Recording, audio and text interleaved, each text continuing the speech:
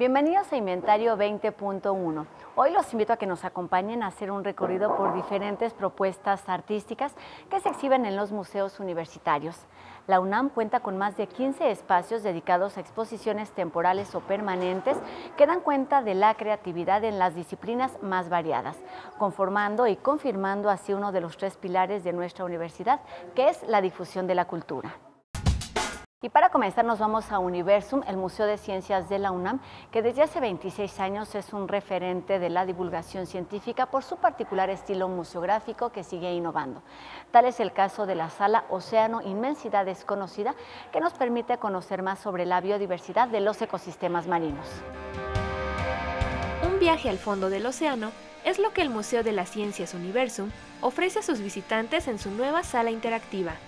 A través de imágenes de gran formato, infografías y talleres, se pretende mostrar las características, problemáticas y acciones que deben tomarse para el cuidado y la conservación de los ecosistemas marinos. Conocimiento general del medio marino, eh, de todas las especies, las diferentes escalas eh, batimétricas que existen en el planeta, cuál es la, flora y la fauna que habita en, en ese en, esos cuerpos de agua, cómo influyen las temperaturas, las mareas, en general, la megafauna marina como esta representación que tenemos aquí, todo es una, una pequeña probadita de la gran inmensidad de los océanos concentrada en una sala de este tipo. Uno de los espacios que más te sorprenderá sin duda es este, en donde podrás observar más de 30 especies de mamíferos marinos que el Museo de la Ballena donó a Universum para su conservación. Aquí podrás observar la evolución y anatomía de distintos cetáceos y descubrir tan solo algunos de los muchos habitantes del océano. El esqueleto de una ballena gris, un enorme cachalote y diferentes tipos de tortugas son parte de la colección que se presume como la más diversa del mundo, presente dentro de un museo de ciencia. Dentro de la megafauna marina también se encuentran catalogados los tiburones y también las tortugas marinas o los pinípedos, es decir, los lobos marinos, los elefantes marinos, las focas o el manatí. Esa, esa representación de esta diversidad de megafauna marina es lo que se está presentando en este lugar. Los ecosistemas marinos ocupan una gran extensión de nuestro planeta y su importancia es imprescindible, pues equilibran el clima de la Tierra, nos proporcionan alimento y son el hogar de más de 250.000 especies. Por ello es importante su protección y conservación todos los mexicanos tenemos un gran compromiso de conocer lo que tenemos y con el objetivo de preservar precisamente toda esta gran biodiversidad, toda esta riqueza, que si la sabemos aprovechar de una manera sustentable, podemos tener un mejor nivel de vida en general y también hacer aportaciones muy importantes al conocimiento científico de toda la humanidad. Océano Inmensidad Desconocida forma parte de la transformación que Universum ofrece a sus visitantes utilizando tecnología de vanguardia para continuar acercando la ciencia de forma diferente y divertida. Para TV UNAM, Viridiana Mondragón. Centroamérica puede ser uno o varios territorios. Para el MUAC es un deseo de lugar nombre de la exposición que revista la trayectoria de Virginia Pérez Ratón, quien desde su natal Costa Rica hizo una importante labor como artista, curadora y gestora cultural en todo este territorio.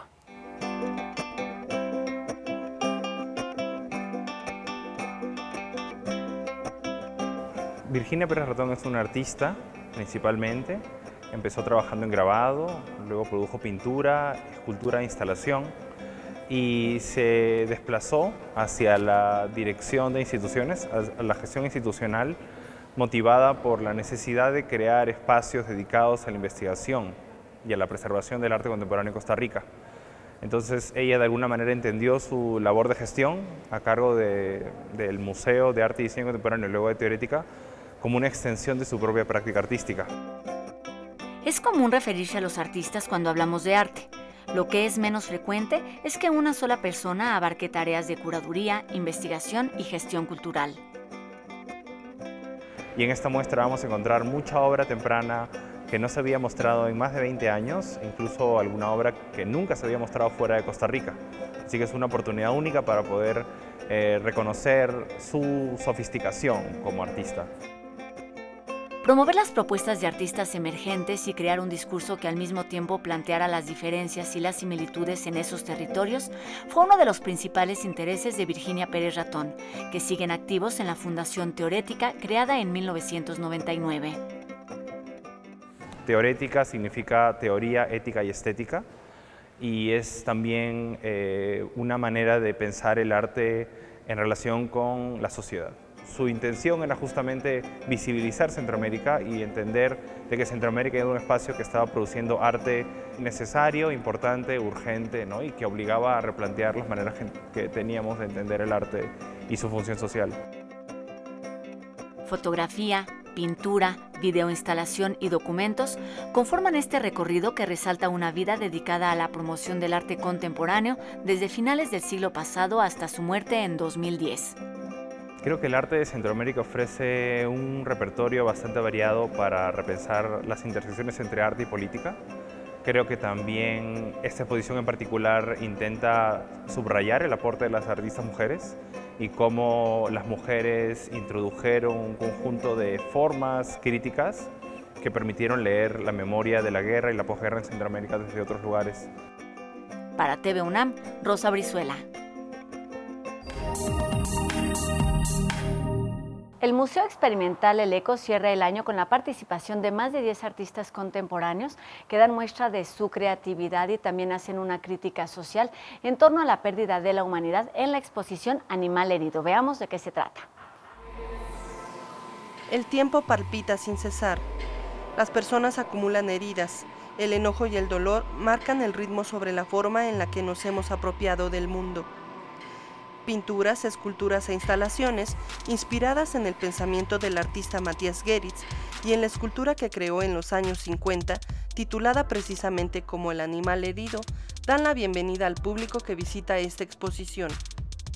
El animal herido es una metáfora del ser humano consciente de que las dinámicas militaristas, este, armamentistas, en aras del progreso y del consumo espectacular de los años 50, pues no nos iban a llevar a nada bueno. Esta exposición lo que trata de hacer es una demostración de que las tensiones resultado del contrato social de la modernidad hoy están arrojando sus, sus problemáticas. ¿no? La crisis de la subjetividad individual en la modernidad hoy este, presenta perfectamente sus tensiones. Tensiones en los problemas de raza, clase y género que vivimos en la ciudad actual. Son alrededor de 18 piezas de 15 artistas eh, nacionales y extranjeros. Y de alguna manera nosotros lo que hicimos fue una suerte de guion este, que hace una cartografía de toda América Latina. Eh, hay obras como la de Fritzia Irizar, eh, que ella es de Culiacán, que hace un apunte muy particular hacia las tensiones de género a partir del contrato social masculino, conservador, en Ecuador.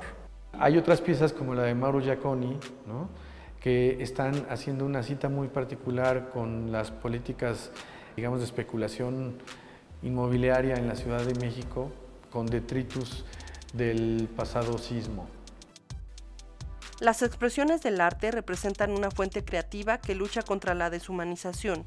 Es por eso que la muestra El animal herido pretende crear un diálogo con los visitantes para reflexionar sobre el presente que compartimos y el futuro que estamos construyendo. Para TV UNAM, Nadia Rodríguez. En el antiguo Colegio de San Ildefonso se exhibe el arte de comer insectos, una muestra que busca crear conciencia sobre la importancia que tienen estos pequeños seres vivos para nuestra historia y para nuestra gastronomía. Desde tiempos prehispánicos, los insectos han jugado un papel trascendental en la vida del ser humano.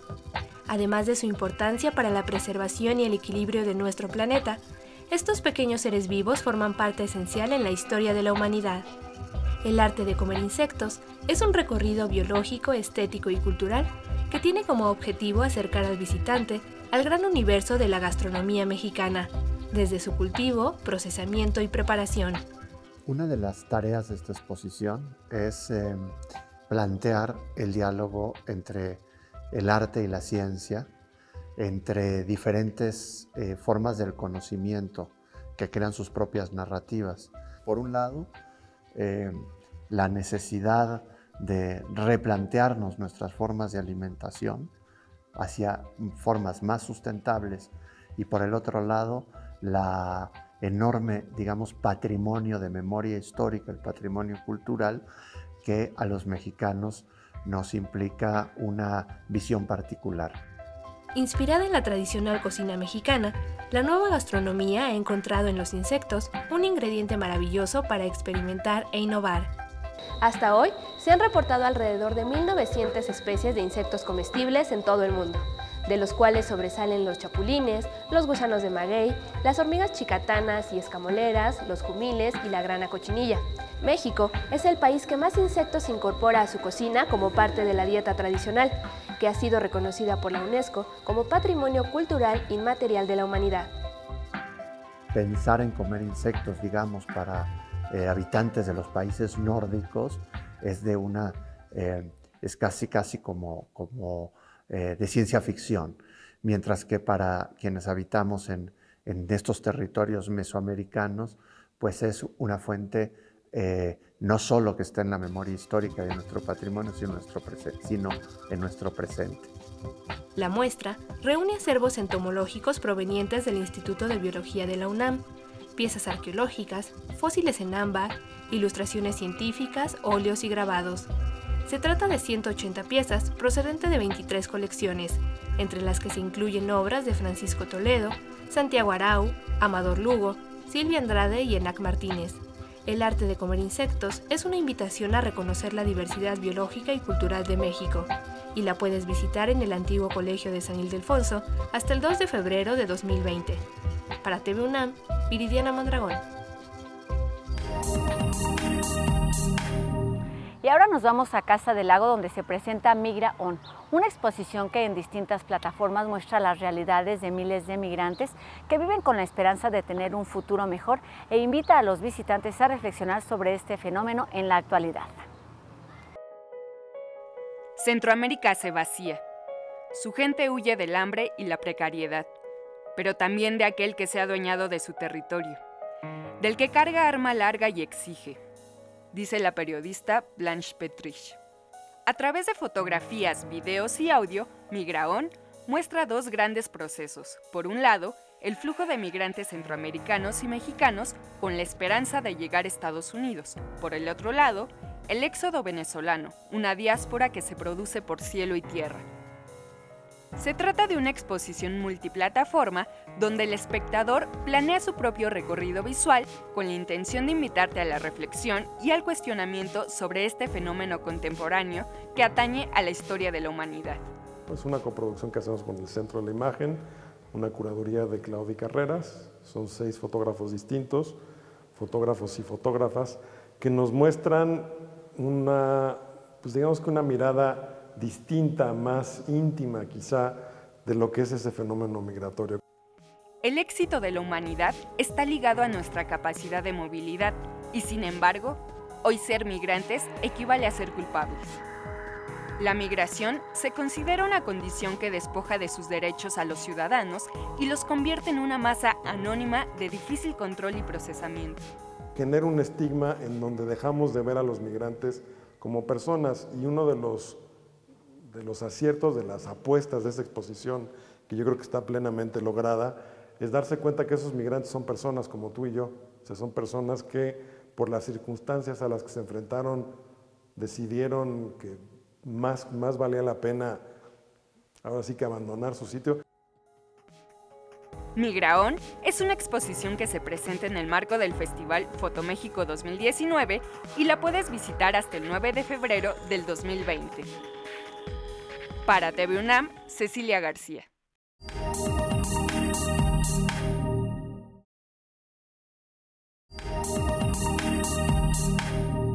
¿Has pensado qué podrías hacer con una impresora 3D? Universum presenta 3D Imprimir el Mundo, una exposición que nos permite acercarnos a la fuerza que ha tomado este tipo de tecnología y a dimensionar lo que podemos lograr con este tipo de impresiones. ¿Te imaginas poder imprimir tu ropa, herramientas escolares y hasta tu propia comida? Actualmente es posible gracias a la impresión 3D, un proceso que permite crear objetos físicos y sólidos tomando como base un modelo digital que puedes imprimir con distintos materiales.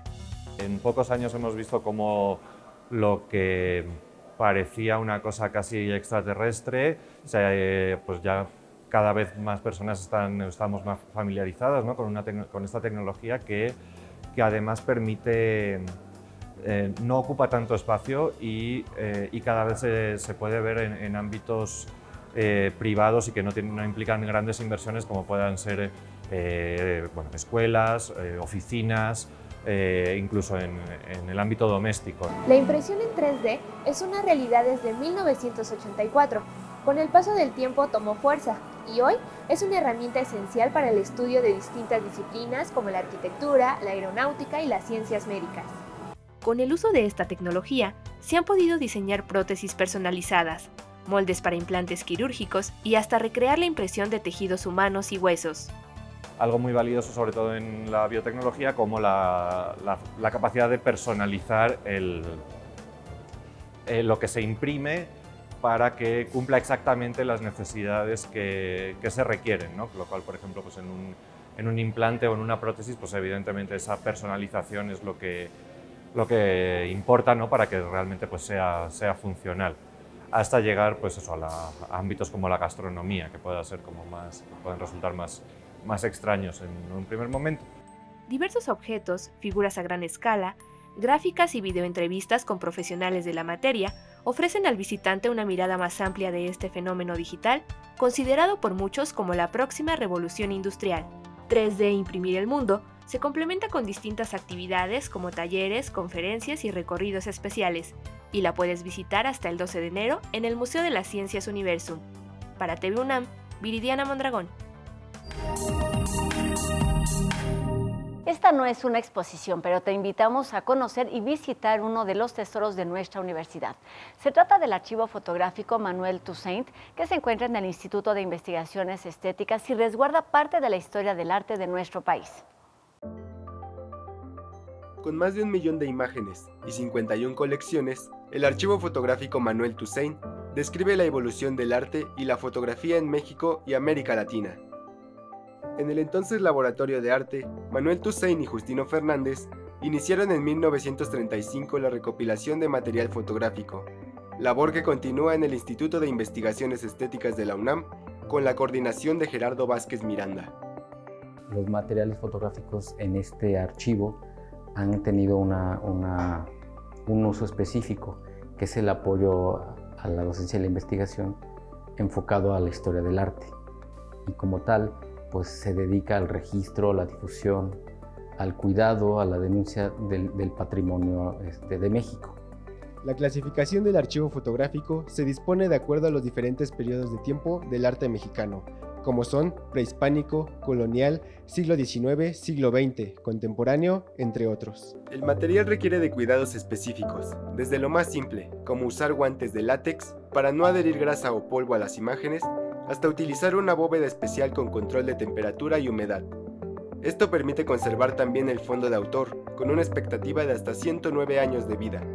Tenemos el arte prehispánico y la, arquitectura, la arquitectura mexicana de ese periodo del arte virreinal o del siglo XIX-XX. Eh, tenemos nuestras colecciones o fondos, ahí tenemos fotografías de fotógrafos como Guillermo Calo, como Michel Sabé, como Vicente Cortés Otelo. Tenemos un, variado catálogo de fotógrafos.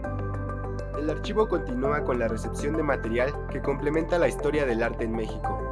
Además, los responsables del acervo trabajan en la digitalización de las imágenes. Es una manera de difundir el material para que estos no, no sufran daños o alteraciones por la misma manipulación a los que pueden estar sometidos es trasladar en el tiempo estas, estas imágenes para que sigan vigentes y sigan consultables. Este archivo es material de consulta para investigadores, profesores y comunidad universitaria, aunque también está abierto al público en general de lunes a viernes de 9 a 13.30 horas. Para TV UNAM, Jesús Monterrubio. Propuestas clásicas o contemporáneas, interactivas o contemplativas.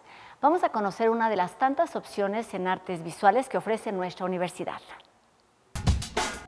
El acto de emigrar lleva consigo un conjunto de costumbres y tradiciones que expresamos de múltiples maneras. Cuando nos desplazamos de un lugar a otro, distintas culturas convergen en un mismo sitio, dando lugar así a la diversidad cultural. Visibilizar la fusión entre culturas como un hecho inherente al ser humano es la propuesta de Rubén Ortiz. Rubén estudió en la Escuela Nacional de Artes Plásticas en la UNAM y después eh, fue a, estudiar a California a una escuela de arte muy importante que se llama CalArts eh, en Los Ángeles. Y, eh, y, desde entonces ha vivido en Estados Unidos, sin embargo su vínculo con México siempre ha estado muy vigente, siendo un país em, con tantos migrantes hacia Estados Unidos, con un vínculo tan importante con Estados Unidos, eh, Rubén plantea preguntas muy interesantes sobre esta relación binacional y sobre estas culturas, que son culturas híbridas. A través de soportes como la pintura, la escultura, instalaciones y películas en las que se observan manifestaciones un tanto cómicas y sarcásticas sobre la postura racista que la élite norteamericana sostiene hacia los migrantes latinos los objetos llevan en sí mismo eh, la cultura. Es decir, los objetos que nosotros pensamos que, eh, bueno, están listos ahí para, para ser consumidos, eh, son también sujetos de apropiación cultural. esa es un poco la, la, noción de customatismo, que es el título de la exposición, que viene de la palabra en inglés customize, que es personalizar. En la exposición desfilan temas sociales como el maíz transgénico, pinturas de banderas magonistas con los lemas Tierra y Libertad y Nos faltan 43, para finalizar con una escultura de Ozzy Osbourne orinando el monumento de El Álamo en Texas, acontecimiento real que se suscitó como un acto de rebeldía en este sitio, considerado símbolo del orgullo norteamericano tras haber derrotado al ejército mexicano en 1836, durante la batalla en la que Texas dejaría de formar parte del territorio mexicano. Para TV UNAM, Yadira Miranda. Y regresamos a Universum, que sorprende a sus visitantes con elementos interactivos y de alta tecnología en hábitat, donde nos explica cómo se han dado los asentamientos en las grandes ciudades y cuáles son los desafíos en un futuro inmediato.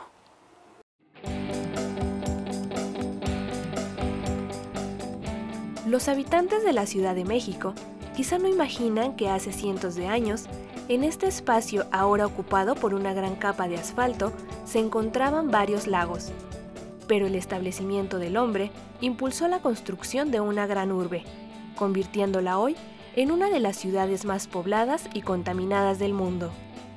Habitat, el espacio de todos, es la nueva sala que Universum presenta para concientizar a los visitantes sobre la importancia de mantener una relación en armonía con la naturaleza y el entorno. El objetivo es que nos asumamos como ciudadanos del hábitat, una persona, una sociedad que transforma el entorno que toda acción, toda acción que llevemos a cabo en nuestro hábitat va a tener una repercusión. Tenemos que buscar ser sostenibles, ser armónicos con nuestra naturaleza, pero sobre todo ser muy conscientes de que al transformar la naturaleza también transformamos la manera en que nosotros vamos a estar viviendo en determinados espacios. Desde el Homo sapiens hasta nuestros días, el ser humano ha ocupado un lugar importante en la transformación del planeta. Sin embargo, algunos problemas derivados de estos asentamientos, como la sobrepoblación, la destrucción de bosques o la contaminación de los ríos, ha generado una crisis medioambiental que podría llevar a la extinción de la humanidad. ¿Qué pasa si yo tiro la basura en la calle? ¿Qué pasa si tiro el aceite en la coladera de mi casa? ¿Qué pasa si uso el automóvil para ir por las tortillas aunque esté a dos cuadras? Entonces, toda acción que nosotros hagamos en nuestro entorno tiene una consecuencia, no solamente en el lugar donde vivo, sino también en otros lugares y con otras comunidades que son parte de nuestro hábitat. A partir de experiencias interactivas, elementos digitales, juegos e imágenes de gran formato, los visitantes podrán reflexionar sobre los retos que enfrentamos como habitantes del planeta hacia la construcción de ciudades sostenibles. Habitat el espacio de todos forma parte de la transformación de las salas de Universum y está incluida en el boleto de acceso al museo. Para TV UNAM, Viridiana Mondragón.